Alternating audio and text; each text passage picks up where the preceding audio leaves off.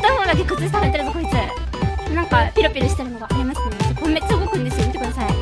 なんかズボン短パンみたいなスカートみたいなそういう感じのズボンズボンみたいな。なんていうの？これ。緊張する。じゃあ出していきます。あーめっと恥ずかしいんですけどお腹が出ました。なんかスカーフセーラー